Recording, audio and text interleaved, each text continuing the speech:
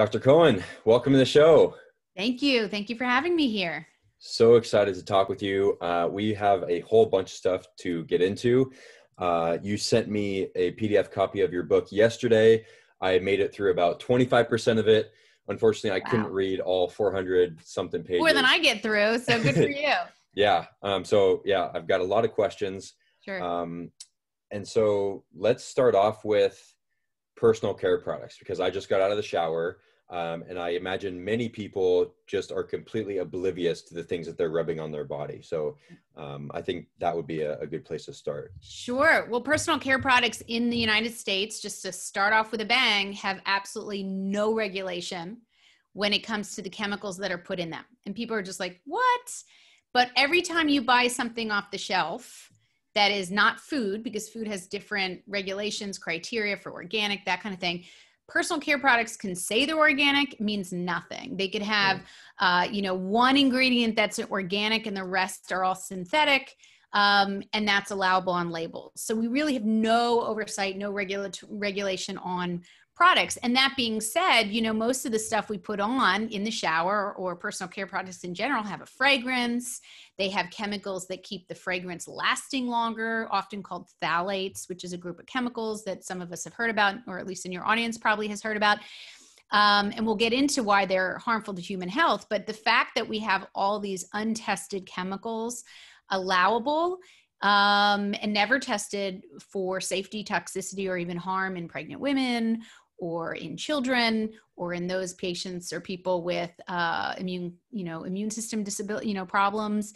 So so again most people don't even realize that when it goes into a shelf you know onto a shelf that people think they're protected that the government has some type of vetting process by which things can go into those products and onto onto the shelves and in fact that's not true.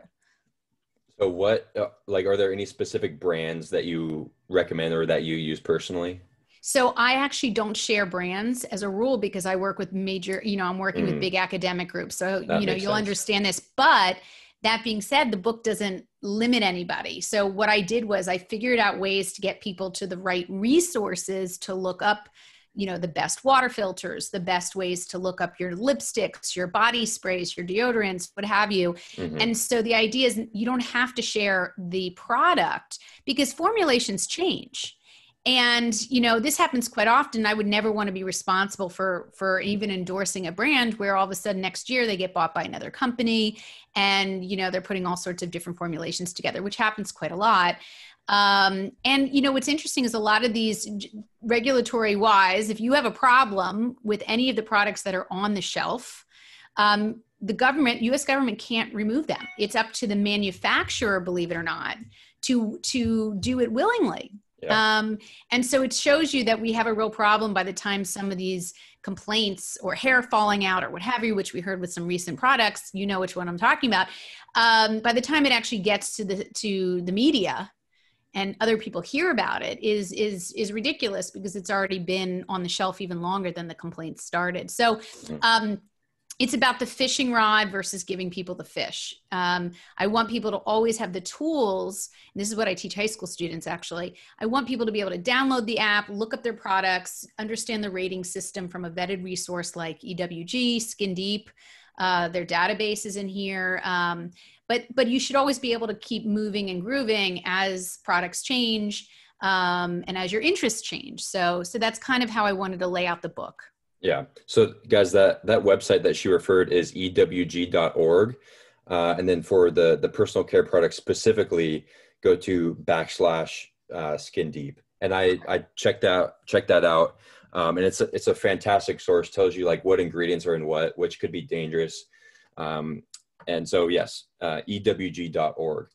Um, I want to go back to uh, you mentioned high school students, and uh, I know that story, but uh, how did so actually let's go back to the story of your dog truxton so yeah, that is was, unfortunately awesome. a, a, very sad story but it, it sounded like it needed to happen because as a medical doctor unfortunately you were not given any of this information so um, would you mind doing a little brief uh, overview of that sure. story and how you got into this yeah, and so this is part of the introduction to the book because I felt, you know, I really needed to cathart and tell people how I got into this and why it matters and why people should buy in to this concept that we need to think about environment and how it affects human health.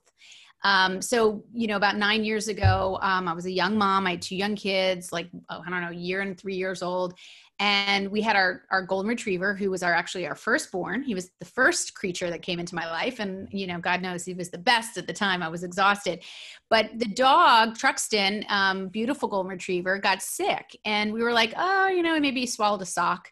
Um, and we took him to the vet, and it turns out that, you know, within a week of bringing him to the vet, we found that he had what was called autoimmune hepatitis, which is an autoimmune disease by which the body's immune system, the dog's immune system, attacks himself. Uh, over, uh, you know, predominantly in the liver. And so his liver was actually the size of a golf ball by the time we actually diagnosed him, which meant that it had been going on for a very long time in general. And we didn't know this. Um, but what's unique about that experience is that not only do dogs not get autoimmune disease hepatitis regularly but golden retrievers are even the most rare or one of the rarest breeds to get that diagnosis. And the irony is that i'm a you know the irony that i'm an autoimmune disease doctor for humans was just really heartbreaking because we ended up treating him um, as best we could as a human, you know, within reason, and tried to really prolong his life, which he only had about six months left on that. But, you know, as I was looking at, you know, Heartbroken, I was looking at why and how he could have gotten this bizarre diagnosis and i was looking up his drinking water and whether the water was contaminated in our area. I was looking up his toys the plastic toy that he always always had in his mouth really since age of six uh, 10 weeks. Um, i looked at his treats and wanted to know if his food and treats were may have been contaminated his dog collars you know with pesticides in our area. We live in farmland. Anyway so the long and short of it is as i was looking up things that could be you know have harmed him I started unraveling this this crazy web of information about how we are just unregulated as humans in the United States. And it really kind of blew my mind. I actually had moments where I'm in my kitchen looking around seeing if there's anyone around to be like, "Are you kidding me? Are you kidding me?" And it was just such a wake up call. And I was even more astounded that the fact that I never heard about any of this, you know, the types of chemicals that work on the hormone system and affect the hormones of our bodies, um, the fact that air pollution can cause a whole host of health effects, including mental health changes, or you know we can put things on our skin it actually gets absorbed into our bloodstream and you can measure it or in our urine.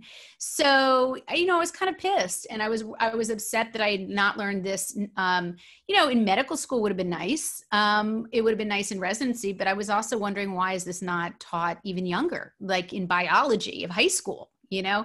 So it really kind of set the ball rolling and it kind of opened up my whole professional career from that on that point on. Yeah, and so you are now one of the the people who's going around and educating these high school students because you started off trying to market this to doctors, and from my understanding in the book, they just they basically wanted none of it, um, and then you realize that to in order to stop this, to slow it down at least, is to get the information out while they're still young. And so, do you want to talk a little bit about your experience talking with high school students about all their body sprays and endocrine disrupting yeah. products. Yeah. No, it's crazy. And so, you know, it had to be trial and error. You know, I started working on uh, with the big with EWG actually that you mentioned they're an incredible group, nonprofit that that mostly toxicologists that really vet out a lot of chemicals in everything we do. So it's a wonderful wonderful resource to get on for cleaning products or personal care products or looking for water filters. So we do a lot. Um, we do we did promote them a lot because they're a great group. But um, so I reached out to them early on. I said, listen, I'm doing, you know, talks locally. Would you look at my slides? Um, and they couldn't believe I was interested. That's how bizarre environmental health was about nine years ago. Is that they couldn't even believe a doctor was interested in giving lectures around local locally you know? Mm-hmm. and i just as you mentioned i was just heartbroken because i went to you know we created a cme program for doctors and for two and a half years i lectured to a lot of major programs. I mean really good big names but no one was really that interested enough to even approach me after the meetings to change out their plastics in the neonatal intensive care units. You know there's all these different ways you can improve the exposures to even newborns infants hospital you know hospitalized patients and there's even nonprofits set up to do that um, but no one was really that interested. So I was kind of like bummed. And then, um, you know, as I, I did a TED talk on this, you know, light bulb that went off when uh, one of my kids' babysitters in high school said, you know, hey, is my my shampoo harming me? And I was just like, what? You're interested? And sure enough, you know, I wanted to test out the hypothesis that maybe this is the right demographic. So, you know, I was allowed into Princeton High School by the principal and the head of science and they said come in do whatever you want and you know do an, do a pilot project so i gave a couple lectures and it was just overwhelming there was such a resounding interest in this topic. And here's why teenagers are great because number one, they're super self conscious, like we all were. I mean, we still are, but I mean, we were back then, even big time. And, you know, so they're always looking to make themselves prettier or healthier or whatever their angle is. It's they're, they're very body aware. Um, they're also tech savvy, so they can manage apps and websites really seamlessly. I mean, I'm, my kids know more than I do, and they're 11 and 13. I mean, it's crazy. Um, they're also potentially one day going to have kids if they choose. They're going to one day vote for issues that matter to them, um, be it environmental or environmental health related. Um, you know, and they have a real, um, you know, interest in the future of the earth. And that message is really, um, you know, quite loud. And, um, but most importantly for me from a doctor's perspective is you know we're teeming with hormones during this vulnerable period of growth and development which is the adolescent teenage years. And it turns out that teenagers use the most personal care products per day than any other demographic. So on average they use between 15 and 17 mostly young girls but really teenagers as a set and you know women typically use about 12 personal care products daily and men you know use six. Um, and so when you see this and you see that the chemicals that are in a lot of these products involve hormone disruption, and here you have a population of, of kids, you know, that are normally growing and, and having all these developmental change with hormones, these are called vulnerable periods of of uh, development where these chemicals may actually have more effect. Same with prenatal exposure, toddlers, teens, and even menopause. So these are big chunks of time where hormones matter they're created they're broken down they're just kind of exploding and and that's why i thought it was just a perfect age to really you know arm kids with tools to really make better choices as they move forward in their lives i want to circle back to the specific effects that these endocrine disruptors are having but first i'm i'm pretty curious uh, your perception of this uh, how receptive are people to this info because from my viewpoint, every time I've tried to talk to anybody about this, they kind of like, unless unless they know about this stuff, they kind of just like blow me off, like, yeah, yeah, whatever, because they don't see it in the mainstream media or wherever. They don't really hear about it. So, in your experience, how receptive have people been to listening to what you have to say? Yeah, it's a movement, and it's actually a movement that's growing. And I'll tell you why I think it's growing. Number one, um, it's been an uphill battle, and I'm I'm happy to do it because you know I, I have a day job, you know, and I feel like I can say what I want to say and not feel like I'm getting fired. Number one, but the world is looking. I mean, the world is already making statements about these chemicals. The World Health Organization has a monstrous report on environmental chemicals and how it affects health. Um, anyone can look that up. World Health Organization um, Environment Program 2012 report. It's about four inches thick, this report. The Endocrine Society, which is a medical society that's worldwide, they have all sorts of reports on this being a major issue. Uh, the American Academy of Pediatrics, the American College of Obstetrician Gynecologists. So, in the last five to seven years, this has really exploded and it's just getting bigger and bigger and i'll tell you i think one of the reasons why people are starting to listen more is because they're getting sick you know mm. i am an autoimmune disease i'm a rheumatologist and i see more and more autoimmune disease more and more breast cancer and other cancers thyroid cancer thyroid disease in young people than i ever I mean, for 20 years of medical practice, I've never seen anything like it. And it turns out that the numbers nationally and internationally, believe it or not, are actually increasing. And I think you now we'll talk about why these chemicals may have an effect because yeah. there, there's a you know a group of chemicals out of the 90,000. That's the actually the number that we have available in all the products we use in the United States. So it's around 90,000 that have come out and been developed, especially after World War II. Um, just tons of different chemicals, pesticides and stain guards and non-sticks and degreasers and flame retardants and chemicals in makeup, food. We have 3,000 food additives that are allowable that haven't really been tested. Um, so we have tons and tons of chemicals, 90,000. And um, it's been discovered through third party, you know, academics, not manufacturers who are not required to do these kind of studies, but academic groups around the world have found that many of the chemicals out of that 90,000 are able to affect hormones in the body. Um, hormones which are part of what's called the endocrine system in the human body. And these are signals these are signalers. These are basically communication chemicals that go around the body and they tell you know your body to become more fertile to get pregnant or breasts to grow during um, you know adolescence or um, bones to be stronger when it comes to osteoporosis um, or breaking down in terms of growth and development of bone. Um, insulin, which is part of how we manage sugar. I'm sure you've talked to your audience about that.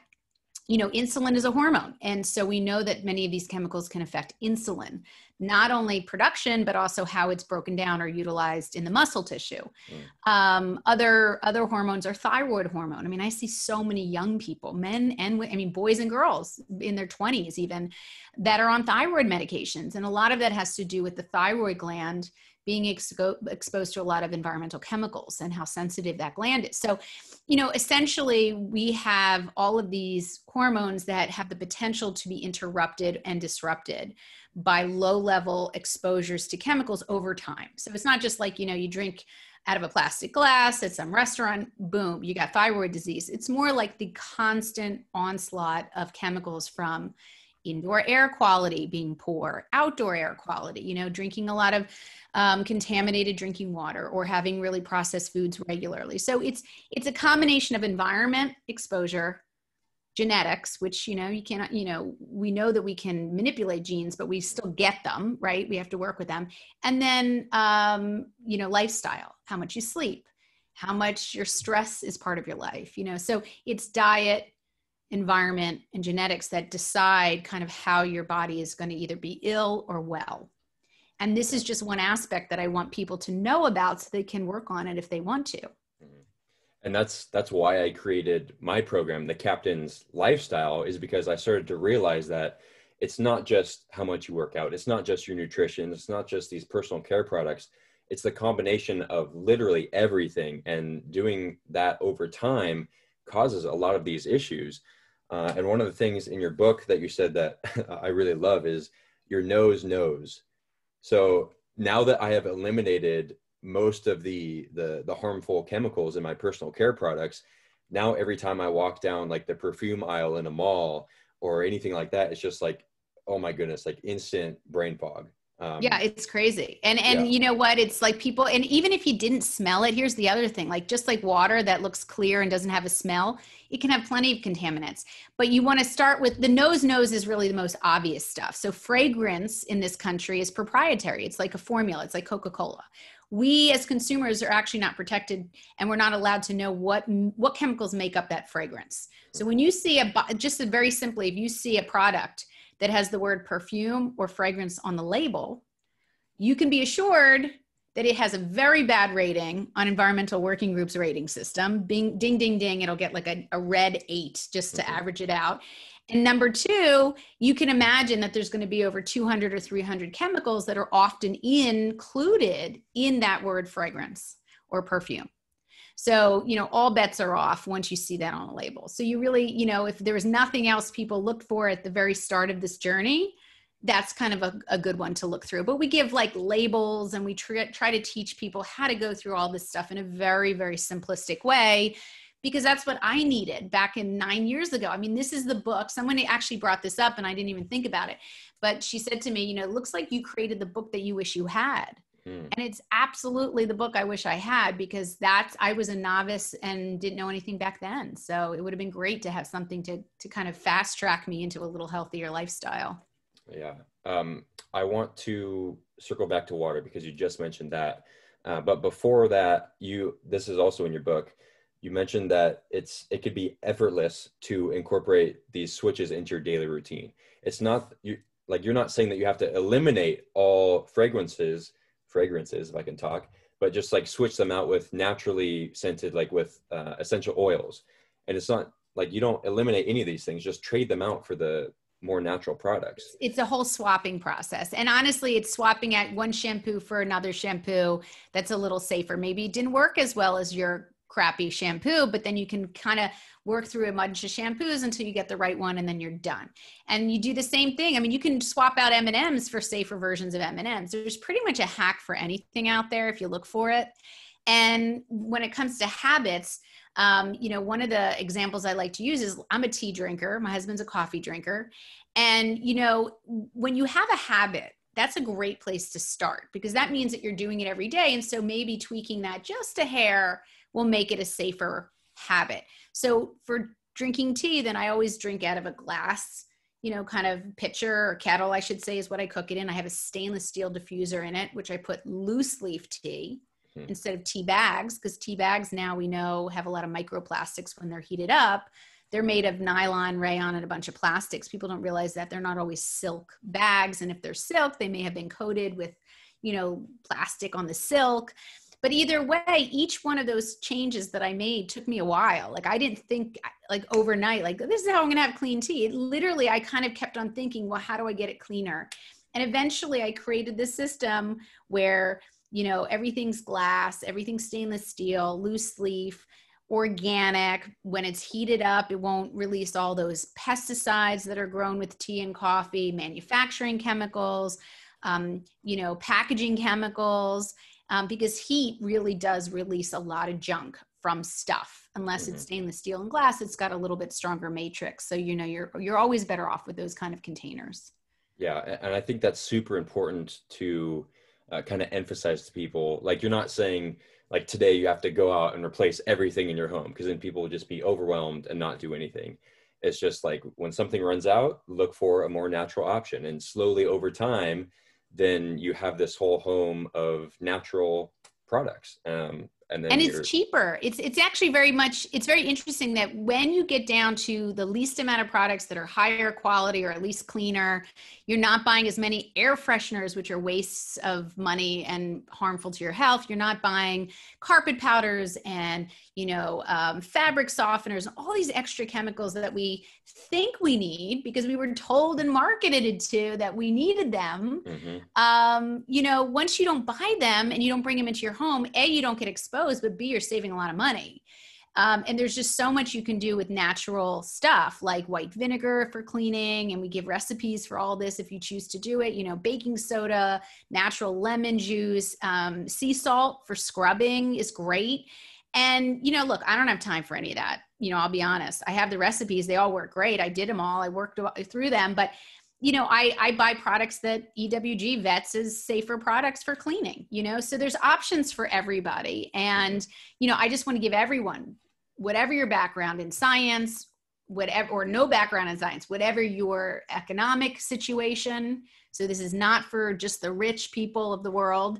This is about everyday people um, being able to have very safe, clean options in terms of produce and food and, and personal care and everything. And even radiation. I have a whole chapter on how to manage technology safely because we're not getting rid of technology. In fact, we're relying on it more and more with quarantine and COVID. So it's a matter of how do you um, learn about your phone and your computer and how it shouldn't be near your groin. It shouldn't be in, you know, carrying your phone in your bra because of all the radiation and what the science shows. So this is again, this is me conveying the science that's very robust. And on that note of these switches being cheaper, especially in the long run, you gave a stat in your book that that says uh, in the United States alone, the cost of disease uh, and lost wages is estimated around 340 billion dollars.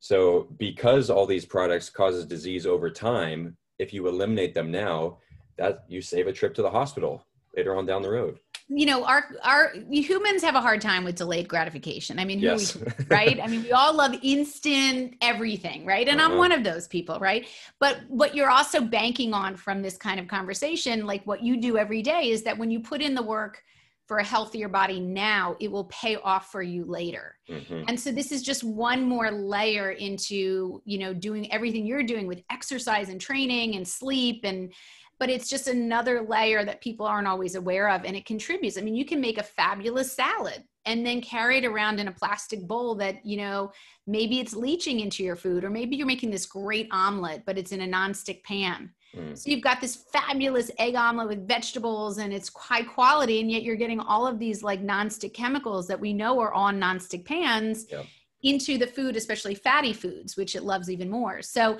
you know it's just it's just when you know better you do better that's mm-hmm. all so let's uh, change topics a little bit and go to water. So in your book there is a picture of when you changed out your reverse osmosis water filter and it it it looks like you just picked up like a, a dirty muddy pipe from the ground. Like it it looked absolutely disgusting. And also it, it says uh, there's a list in your book of the the stuff that is not filtered out from water. That was just astounding to me um, so do you want to talk a little bit about sure. um, tap water especially in, in the united states yeah this is one of my favorite and actually i think most important topics that i that i didn't know much about but now i'm so well versed on it from all this research that i'm like oh my god i have to really share this with people because it's just it's hard it's mind-blowing so, um, so the very basics are that in the United States, we have about 310 million, I guess, is the number of people in the country now. Um, about uh, the majority of people, 310 million, are are given water through their municipal tap system. So, you know, city water. Mm-hmm. You know, you turn on your tap; it's not from a well; it's from city water. So, there's 160,000 water treatment plants across the country that serve about 250 million Americans, so the majority of Americans. The, the rest of the Americans, like 40 million, get their water from wells, private wells, um, in their more rural areas where they don't have all the piping that goes from these waste treatment plants. Now, what's interesting is these 160,000 water treatment plants actually only follow a law about cleaning water that's from 1976 and it hasn't really been updated since 1976 and it good. covers 91 chemicals. So since 1976, now we have 90,000 chemicals everywhere from water in our streams it lands on you know the air quality lands onto the streams the you know lakes and sewage becomes drinking water. People don't realize that. So we have medications in toilet water that go into our drinking water microplastics. But you know it turns out that only 91 chemicals are are required to be looked for and managed if they're too high. If they're found out to be too high in those treatment plants, then they have to fix it, they have to remediate it. But 91 chemicals. And so these guys, I say guys because I visited them, I, I did a tour of um, one of the big ones in New Jersey where I live, and they were great. These guys, you know, the people that work there do their job well, and they they cover these 91 chemicals by law. They're doing their job, but unfortunately, like the infrastructure doesn't isn't modernized to deal with all the chemicals that we've had since 1976 and um, plenty of the chemicals that don't even break down over time like the non-stick chemicals or perfluoroalkyls, pfas it's in the news a lot right now they actually go right through water treatment plants too into our our um, water system. And then the water travels like this treatment plant you know 40 miles to my house in pvc piping right? Because everything is not lead anymore, right? We have laws against that. Not every, I should say, not all of it's been changed out, but certainly when they do make changes, they change out the lead. And then now you have polyvinyl chloride, which actually is an endocrine disruptor, uh, which gets hot from hot weather and leaches into the drinking water. We have chlorine that's required in our drinking water, detergents in our drinking water.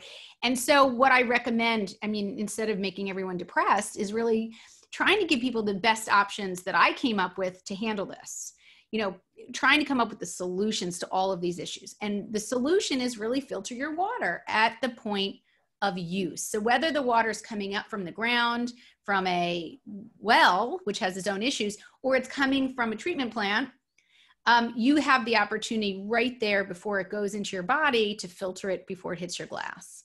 And then I talk about a variety of fil- filtering systems, which are the pros and cons and price points, and kind of giving people an idea that it's really um, available to everybody. People can get really aggressive water filtration systems for 300 bucks 250 bucks um, and that's what i'm trying to promote because it's just so so important for human health and our health of our bodies and our kids bodies to really think about um, you know water and how to make it the cleanest it can be and how to carry it in mm-hmm. you know mm-hmm. in terms of containers bpa free is just bs and you know yeah. so we have to think about all that so i've known about contaminated tap water for a while now, and um, I've also known about um, like the harmful effects of plastic. So you shouldn't buy water in plastic bottles. And then we switched to drinking like the, the sparkling waters from aluminum cans. But then in the book, I saw that lining of aluminum cans can contain BPA. And so now I'm like, shit, now I gotta yep. glass yeah, bottles. mind blowing. And yes. it's funny because you know you get these healthier and healthier drinks, but they're in cans, but cans have not changed. So cans are lined with a plastic coating called bisphenol A or BPA. And some of your audience members may remember, um, especially if you're a parent, that in 2012, bisphenol A or BPA was actually taken out of baby bottles, plastic baby bottles, because of its harm, its endocrine disruption capabilities that people didn't want. You know, like, you know, the US actually took that off the market for that product, which is unheard of in the US. Um, and actually, the person who's really largely responsible for that move is actually my co author, Fred vom Saal, who's just this world renowned neurobiologist. So he's my co author for this book and my last um, textbook with him. So he's incredible. He's like an emeritus professor, researcher. He's just mind blowing. But um, BPA is an endocrine disruptor. It's probably the most widely tested and uh, researched of all of the endocrine disruptors because it was one of the first discovered and it mimics estrogen at very low levels and it blocks androgens so it can affect you know cognition and brain development in utero so during pregnancy it can actually affect the genitalia of male uh, babies um, because it blocks the androgens um, and we know that this can be um, accumulated through diet and water and, and things that the mother drinks um, not that it's their fault, trust me, but it's because we live in a dirty world and it's not always fixable or people don't know about these things. But BPA um, is something that actually breaks down, you'll be happy to know, in about six hours. So it's just one of the chemicals that you can eliminate from your lifestyle, your diet. It's on currency like um, receipts. It's on um, currency, meaning like money. Uh, believe it or not, that's that's lined with the BPA coating. Um, it's in a lot of different products, and we list them in the book.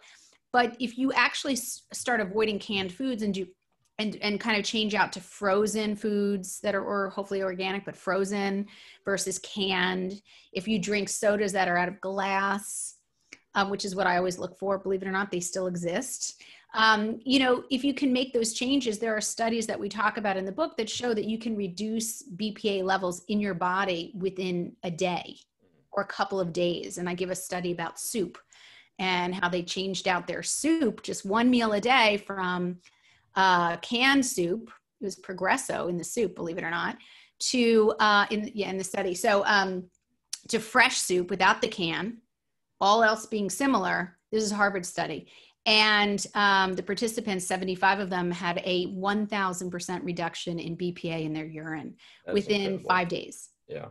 So you wow. can see that certain chemicals you can really fight back at, and BPA is one of them. And we want to, you know, make sure people know that. Yeah. So uh, on that topic, these are pretty popular among the fitness community. These blender bottles. Oh, really? Plastic blender bottles. They have a sticker that says BPA free, but then in the book, there's like BPA is not the only endocrine disrupting plastic. So, how harmful would it be to drink from a, a plastic shaker bottle as opposed to a stainless steel tumbler? Yeah, and then, by the way, that stainless steel tumbler you showed me, the top of it is plastic, right? Yes. So it could be stainless steel inside, and then you're drinking hot coffee right out of the top plastic part. Mm. So, or even the flip tops, you know, there's mm-hmm. a lot of flip straws. So it's kind of like it took me almost six months to figure out that that, again, it's a journey. And, you know, not everyone just figures it out or just picks up on it, but once you're aware, you start to see things as you move along. So, in terms of those plastic um, containers, this is the way I see it. You know, again, you can't just throw up your arms and just give up every single thing you love or behavior. I mean, my hair's colored. If people could see this right now, I'm not sure if they're going to see this video, but you know, I color my hair and I'm I I do everything else I hopefully much better, but this is something I haven't decided to change out in my life.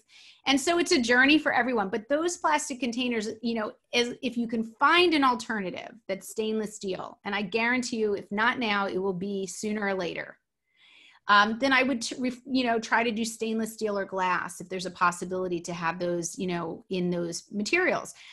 If not, the biggest issue with plastics comes from heating them or putting them in the dishwasher. Mm. So if you take, like, say, Tupperware that's brand new, it's totally see through, and you put it in the dishwasher, when it comes out, yep, it gets cloudier and cloudier and cloudier And it's not because it's dirty, it's because the material, the matrix actually starts breaking down and breaking down under heat and all the scratching of, storage. And, and so what you're starting to have is a, a material that can actually get into your food.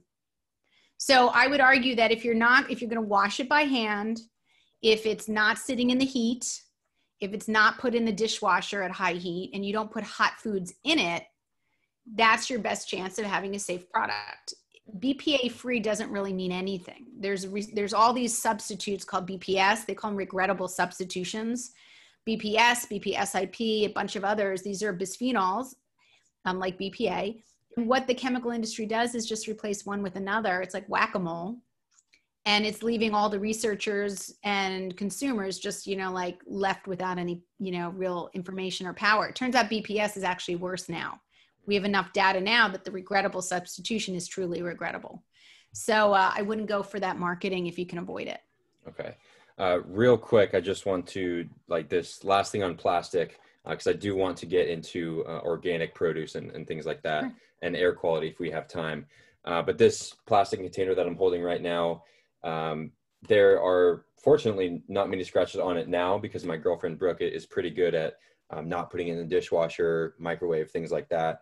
Um, and then I like the little jingle that you put in the book for the looking for the uh, the number. Uh, recycling codes, yeah. Yep. Those so, the, the, triangle recycling codes are really interesting because I never knew what they were, and now I do, and it's shocking. Mm-hmm. So, yeah. for, just for people listening, it's if I'm if I remember it correctly, it's five, four, two, and or no, five, four, one, and two, all the rest are bad for you. Yeah, yeah. I mean, I, you can do it six different ways. I don't know. In fact, when you said that, I'm like, oh no, I don't remember it. but I, I, know which ones are bad. So you know, so basically, the recycling codes, uh, which is really the triangle on the bottom of plastic containers. Okay.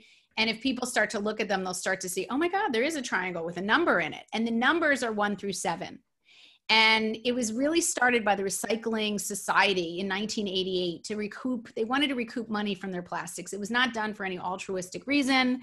It was done to make money and for the plastics industry to somehow recoup some of the plastics and the expenses. Um, it turns out that we can use those numbers to our advantage. So we now know, unfortunately, because of research, that number three is polyvinyl chloride or PVC, which tends to have more endocrine disrupting capabilities. That six is styrene or styrofoam. We all know styrofoam, right?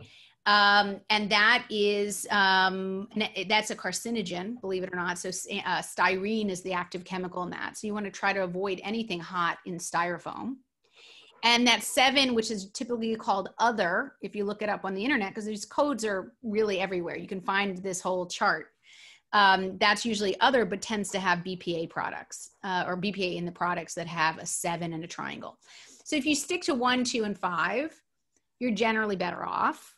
Um, but again, it's not a perfect system. It's just kind of a way to really guide you and make you feel better about your choices. Yeah. All right. So switching topics again. Uh, I don't know if you're aware of this, but in California, basically the whole state is on fire. And so air pollution is becoming a big deal. Uh, do you want to talk a little bit about that and ways to reduce some of the effects? Yeah, I was there in the fall of last year before, God, for pre-COVID, I guess, way before pre-COVID, and I couldn't breathe because it was during the fires. And I went out mm. for a run, and it was the dumbest thing I'd ever done. But you know, I'm from New Jersey, so I wanted to go out and have a run. And by the time I got back to the hotel, I couldn't even breathe. My throat was burning and everything. So it really kind of was a wake up call for what you guys go out, you know, what's going on out there and in other parts of the country. It's pretty shocking. And, and really, it's important to know what to do about it.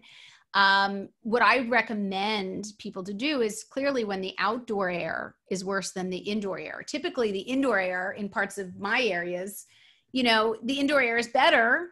I mean, I'm sorry, worse than the outdoor air.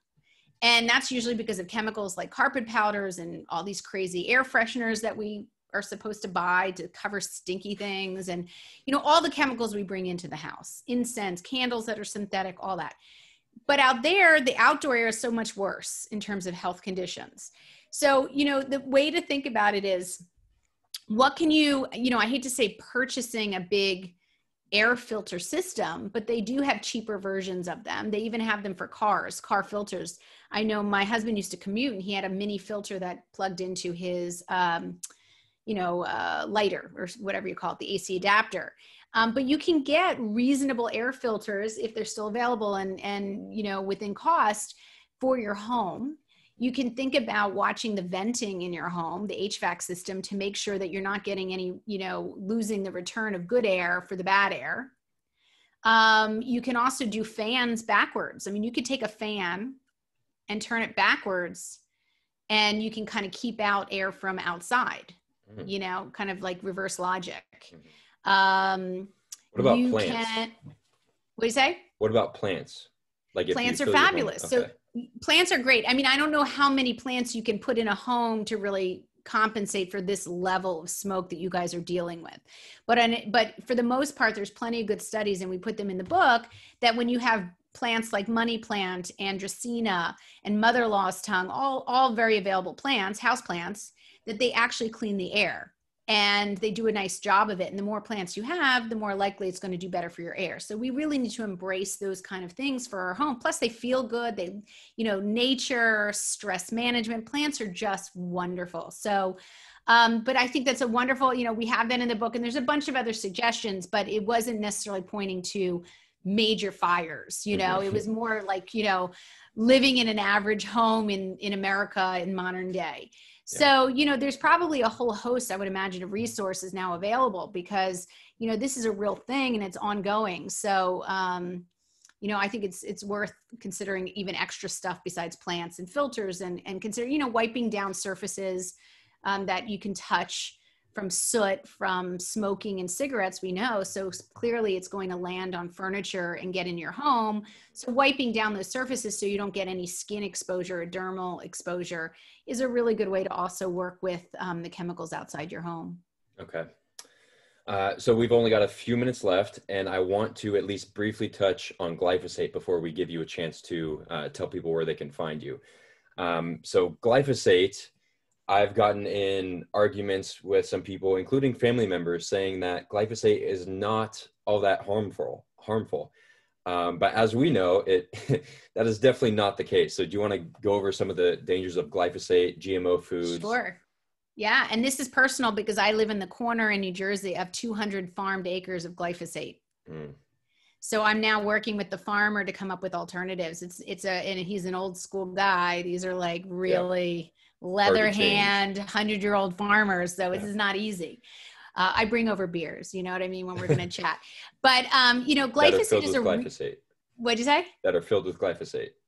Well, it's true. Beer now is filled. It has glyphosate. Good point. Unfortunately, yes but but if you go organic my favorite beer is organic so you know basically i do wine and beer we do a whole section actually on alcohol because it's one of my favorite things mm-hmm. uh, i don't drink a lot of it but i like it high quality and i like it without glyphosate if i can get it but anyway um, glyphosate is um, roundup a lot of people have heard of roundup it's been marketed through all the big box landscaping stores and you know um, for years, and it and it really has been on the market for years. But what's gradually been discovered about glyphosate or Roundup, which a lot of people use even in their gardens, not just farmers, is that it actually is very uh, potentially harmful to human health. And highest on the list is car- cancer. Um, and so it's a probable cancer um, through the World Health Organization. Um, and uh, it's been banned in Mexico now. It's been banned in all the parks in Miami, public parks. It's been banned in so many. But Europe is considering banning it from the entire EU, uh, European Union. So um, we know that there's huge million dollar lawsuits that have passed recently. Um, one gentleman who was a landscaping guy for the grounds guy for his high school, who came became very sick. I think he developed multiple myeloma, which is one of the cancers or leukemia. I can't remember which one it was specifically, but he won $58 million in that settlement. And that is sort of the, that was, you know, the, the first lawsuit that really started everything tumbling down. Now, glyphosate is made by Monsanto, which is one of the oldest chemical companies in the country. And they also make the seeds that are paired to glyphosate. So all mm-hmm. these farmers, unfortunately, are stuck with these seeds that are what are called selective to this herbicide glyphosate which is you know herbicide is for weeds and um, you know unfortunately because glyphosate has now has to be sprayed repetitively it used to be just thought of as one spray but now we know there's resistance and weeds are just growing back you know, even despite the glyphosate, there's multiple sprayings of glyphosate. So now we're really getting into a situation where we have glyphosate in almost every, uh, you know, processed pro- uh, food.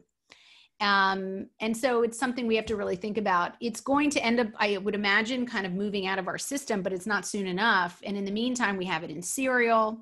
EWG did a great report on cereals that they tested, really our morning cereals that we all love, filled with glyphosate, or at least higher than what's considered healthy, you know, or safe. Mm-hmm. Uh, I shouldn't say healthy, but safe. Yeah. Um, and so we have glyphosate kind of seeping into almost every vegetable or produce. And we give the list of which vegetables and produce have um, what are called genetically modified seeds that are modified to match glyphosate, which means they probably have much higher levels of glyphosate.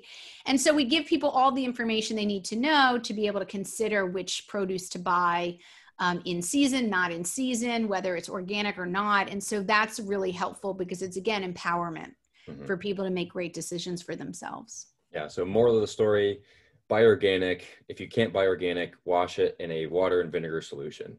Or baking um, soda and water, and yeah, and you just agitate it. You'd be amazed what the water looks like. Um, so there's there's really um, for people who have no access to organics, even frozen organics, which are somewhat more accessible. You know, we want to make sure anyone who has uh, the ability to buy white vinegar at the store can really do the same um, you know, improve their fruits and vegetable residues, you know, for pesticides and remove them as well as someone with, you know, who's, who's able to buy pest, uh, uh, organic produce. Mm-hmm. Well, I want to be respectful of your time. I know you have an Instagram live to get to. Oh, uh, yeah. So tell people where they can find more about you, your book, and everything you're doing. So the book is called Non-Toxic. I'll hold it up because I'm still not sure if this is going to go out anywhere. So I might we'll as well just cover my cover my bases. Um, so it's called Non-Toxic Guide to Living Healthy in a Chemical World.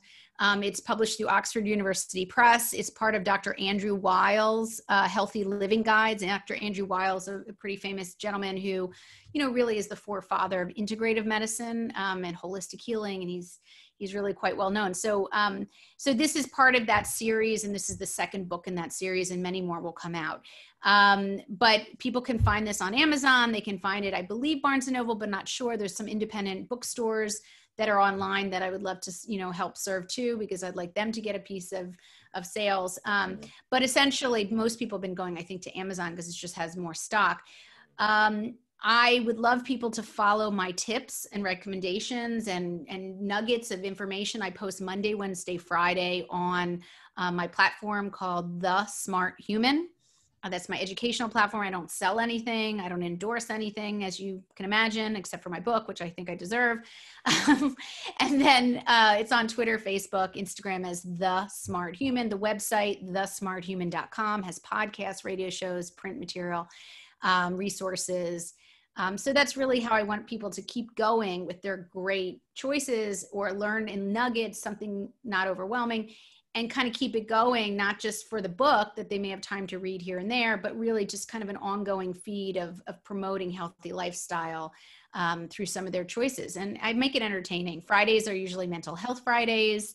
I usually have something very funny if I can. I usually do Mondays or sustainability and how to keep the earth clean or cool inventions. And then Wednesdays, typically like, you know, a heavy hitter about nutrition, diet, exercise with lots of bulleted information. So um, I hope people will check it out and, and share with family and friends. Love it. Yeah, guys, like I mentioned, um, I have the PDF copy of the book. I ordered the full copy, but that doesn't get here till the end of the month. I'm about 25% through, and so far it has been mind blowing. So please, please, please pick up a copy of this book. Um, I mean, you might not like the things you see, but that's good because you can slowly start to implement these changes into your life and live a, uh, a better lifestyle. All right. So, uh, Dr. Cohen, thank you so much for coming on the show and spreading your wise words of wisdom to my audience. And uh, yeah, thanks again. Taylor, thank you so much for reaching out and for having me on your show. It's actually really fun, and uh, and I, I hope your audience finds it fun as well. So thank you for having me.